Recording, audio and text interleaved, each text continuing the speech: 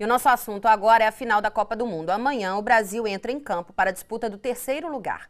Qual é a opinião do torcedor nas ruas? Vai dar Brasil ou vai dar Holanda? Após o vexame contra a Alemanha, o que restou para o Brasil foi disputar o terceiro lugar contra a Holanda. A goleada sofrida nas semifinais deixou o torcedor sem confiança na seleção. Com certeza, psicologicamente, todos eles estão abalados. Mas é, é aquela história, a bola para frente, eles estão abalados, mas também estão com orgulho, estamos com orgulhos, orgulhos feridos. Então, vai buscar o melhor de si, tá certo? Para poder vencer, pelo menos ficar em terceiro lugar, que é menos desonroso? Ah, eu acho que vai dar Holanda. A Holanda tem um hobby que joga muito, esquerdinha ali, joga muito. E o Brasil vai vir meio maquiado. Eles vão vir para cima, mas a Holanda tem bem mais time do que, que o Brasil. Vai dar uns 3 a 1 para a Holanda, com certeza. O time do Brasil ainda não tem estrutura para poder estar tá competindo com a Holanda. A Holanda é um grande time, e eu acredito que eles vão se sair bem. Apesar que sou brasileiro, né? Eu gostaria que o Brasil ganhasse, mas felizmente a minha opinião sincera é essa. Vai ser um desastre de novo, né? Eu acredito que com a mesma escalação que entrou nesse último jogo, vai ser o mesmo desastre. Eu acho que o time holandês tem muito mais preparo, muito mais técnica, muito mais eficiência. E eu acho que é isso. Eu acho que a Holanda vai ganhar do Brasil, infelizmente. Eu não sei, hoje seria interessante. O brasileiro não quer saber de terceiro lugar. O brasileiro quer o primeiro, sempre o primeiro lugar. Pois é, veja agora os horários e os locais dos jogos da final da Copa do Mundo. Amanhã, o confronto é entre Brasil e Holanda na disputa pelo terceiro lugar, às 5 da tarde, no estádio Mané Garrincha, em Brasília. E no domingo acontece a final entre Alemanha e Argentina, às 4 da tarde, no Maracanã, no Rio de Janeiro. E o atacante Neymar esteve ontem com os atletas da seleção brasileira e participou da entrevista coletiva. Ele falou que vai torcer pela Argentina na final da Copa. Fomos é, fracassados sim, é, perdemos, é, mas foi o que eu falei, faz parte do futebol, é, perder e ganhar. O jogador se emocionou quando lembrou o momento da lesão no jogo anterior contra a Colômbia. Eu poderia estar de cadeira de roda, né? Então é complicado você falar num, num lance que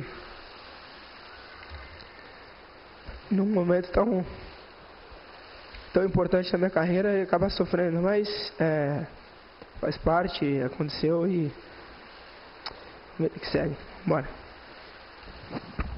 Longe da decisão com que tanto sonhou, Neymar escolheu um lado. Revelou que vai torcer para os argentinos e, diante da surpresa geral, explicou melhor. O futebol, é, pela história que, que o Messi tem, né, de ter conquistado muita coisa, de ter conquistado quase tudo em sua carreira, eu acho que ele merece sim ser campeão. E se não pôde ouvir a torcida vibrando na final no Maracanã, pelo menos da Granja Comari, ele saiu aplaudido. Uma cena curiosa, o craque aplaudido pela imprensa brasileira. E você quer nos ajudar a fazer Hora News? Você pode, basta nos enviar vídeos, fotos e sugestões de reportagem. É bem fácil, olha só.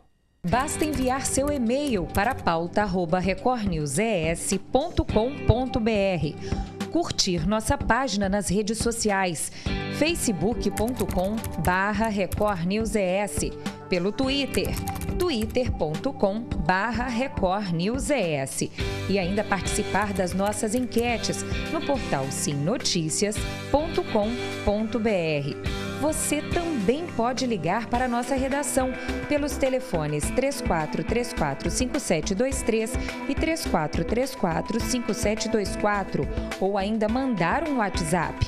O número é 99927 6943. Os agentes de saúde de Sooretama, no norte do estado, decretaram greve e realizaram uma manifestação em frente ao Ministério Público para pedir intervenção nas negociações da categoria. A concentração das agentes de saúde chamou a atenção de quem passou em frente à sede do Ministério Público Estadual em Linhares nessa tarde. A faixa estampada resume as principais reivindicações da categoria, que, além de melhores salários, quer também condições dignas de trabalho. Oficialmente, a paralisação dos agentes comunitários de saúde de Soretama teve início à meia-noite desta quinta-feira. Somente os 30% do quadro de servidores do setor estão atuando, como exige a lei. Para a representante estadual do Sim de Saúde, falta boa vontade da Prefeitura de Soretama em negociar com os servidores. O prefeito está rígido, sim, porque não abre para conversar. É, quando faz a, a negociação, ele promete uma coisa e até agora não cumpriu. Então a gente está tendo dificuldade. São 41 agentes comunitários de saúde em greve. A paralisação começou nesta quinta-feira. Eles vieram ao Ministério Público Estadual aqui em Linhares pedir ajuda do órgão para que intervenha nas negociações com a Prefeitura. Uma audiência com a promotora Karina Jovita foi marcada para a próxima segunda-feira. Querer serviço e não fornecer condições é fácil para qualquer município, né? Como você pode ver, nem a maioria dos colegas estão sem uniforme porque a gente tem que usar a roupa da gente sair para poder trabalhar. Eu queria que cada governante vivesse com salário mínimo para saber como é que é gostoso. Nós estamos com salário defasado, recebemos um salário mínimo e temos que trabalhar oito horas por dia.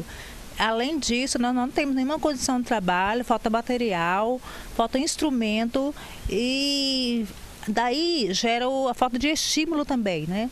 Porque se a gente recebe mal, a gente não tem como ofertar né, uma, um bom serviço para a população. Dona Judite atua na zona rural do município. Para conseguir visitar as comunidades mais distantes, ela diz que gasta pelo menos 150 reais do próprio salário com combustível todo mês. Eu sou agente de saúde lá do interior, né?